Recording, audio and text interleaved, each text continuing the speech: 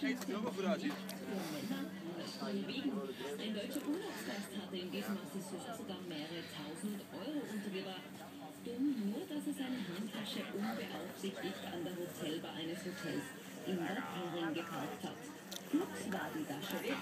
Eine Frau hat. Von der unbekannten Dame und dem Geld fehlt jede Spur.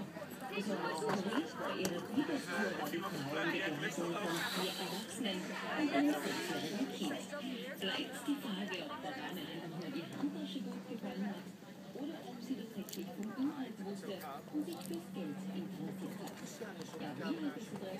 die oder Kleidung oder in diesem Fall das Geheimnisse. Die zuständige Polizei